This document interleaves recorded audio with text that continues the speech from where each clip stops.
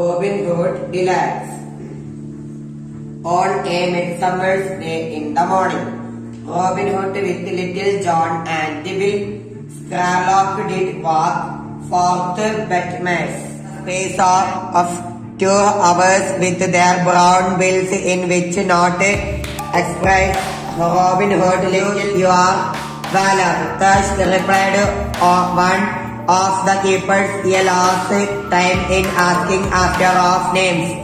If thou and after we are weary, we will lay down our arms and become sound brothers to one another. I love those men that will stand to it and scorn to turn their backs on a foe. With all our heads jolly, Robin said the keepers to him, so